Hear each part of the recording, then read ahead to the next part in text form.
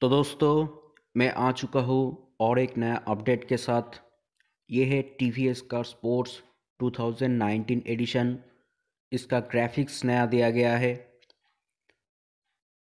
तो आप सभी को फिर से स्वागत है मेरा चैनल इंडियन बाइक के इस एपिसोड में। तो इस बाइक में हालाँकि अभी तक जो ब्रेकिंग सिस्टम है, वही पुराना वाला है। दोनों तरफ़ ड्राम है और इसमें स्नीक ब्रेकिंग सिस्टम नहीं दिया गया है।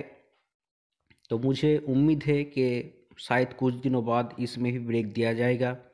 इसके पहले वाले वीडियो में मैंने कहा था कि टायर के बारे में मुझे मालूम नहीं है, लेकिन मैं कॉन्फर्म हूँ इस बार, दोनों तरफ़ ट्यूब टायर ही है। इसमें आपको ट्यूबलेस नहीं मिलता है। बढ़िया बाइक है माइलेज सेवेंटी आपको दे ही देगा हंड्रेड परसेंट गारंटी इसका जो खास बात है, इसका हेडलाइट बहुत ही बड़ा है और इसका लाइट रात में बहुत ही चमकदार है। तो ये एक बहुत बड़ा प्लस पॉइंट है आपके लिए। मैं ऊपर आई बटन में लिंक दे दूँगा, जहाँ से आपको इसी बाइक का और एक वीडियो मिल जाएगा। वहाँ से आपको सारी डिटेल्स मिल जाएँगे। तो मैं इस बाइक में कुछ बातें ऐसे बोलना चाहता हूँ। आप थोड़ा गौर कीजिए। मैंने कुछ क्लोज शॉट लिए हैं। इसके आपको फोर के में वीडियो मिल रहा है। आप अगर चाहो तो इसे टीवी या फिर ultra H D T V या फिर लैपटॉप या फिर कंप्यूटर में देखो, आपको फोर के ऑप्शन मिल जाएगा। इस बाइक को नए तरीके से लाया गया है। इसमें टी वी एस लोगो दिया गया है। इसका ग्राफिक्स नया है। इसमें मुझे जो लगता है, किक है इस बाइक में और सेल्फ स्टार्ट भी है। तो बेहतरीन बाइक है। इसका सीट डुअल टोन कर दिया गया है। सीट भी बहुत ही सॉफ्ट है। और बाइक देखने में बहुत खूबसूरत है। आपको बस एक बात मैं कहना चाहूँगा टी का कोई भी बाइक हो, आप टाइम टू टाइम उसका सर्विस करवाए, इससे आपको सब कुछ बेहतरीन मिलेगा और माइलेज भी।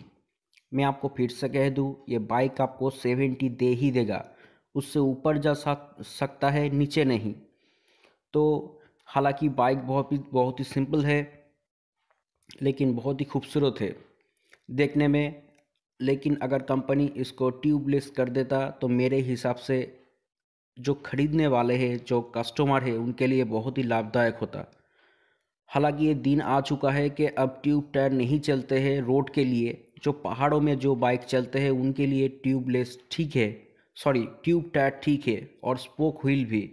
लेकिन जब एलाई व्हील के साथ बाइक आ रहा है तो मेरे हिसाब से उसमें ट्यूब टायर डालना चाहिए, क्योंकि ये बाइक्स खरीदते हैं वही जो बिजनेसमैन है, होते हैं, जो बहुत ज़्यादा रोड पे बाइक चलाते हैं, जिनको बाइक हर रोज़ की ज़रूरत पड़ता है।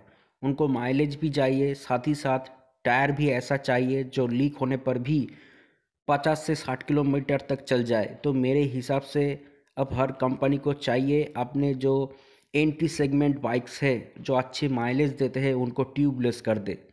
आप इस बारे में आपने अपना अपना राय ज़रूर जना कमेंट बॉक्स में लिखें।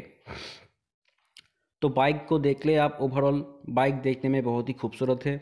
और ये जो शोरूम है, ये है वेस्ट बंगाल में बहरमपुर सिटी नाम है मेरा और डिस्ट्रिक्ट मुर्शिदाबाद है। तो मुर्शिदाबाद में सारे बाइक्स अवेलेबल होता है, ये मेटल का है। और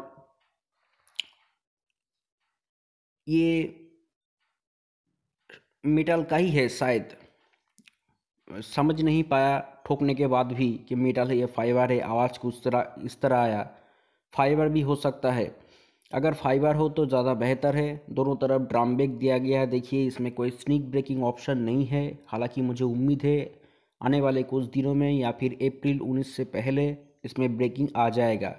बाइक बहुत ही बेहतरीन है। आपको माइलेज अच्छा देगा। मेरा गारंटी है आपसे। अगर आप ये भी इसको चाहते हो अगर आप माइलेज चाहते हो तो आपको एक बात ध्यान रखना पड़ेगा कि इस बाइक में ट्यूबलेस टायर नहीं है।